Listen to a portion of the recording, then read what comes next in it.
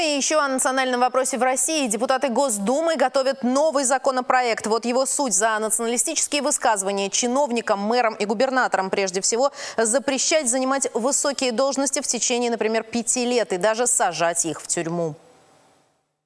Если это привело к межнациональным конфликтам, кровопролитию, погромам в результате, надо наказывать уголовно.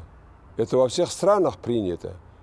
Вот, допустим, в Германии вы попробуйте в поддержку фашизма или Гитлера одно слово сказать, или нацизма какого-то, да? Вы больше перспектив политических в стране не будете иметь.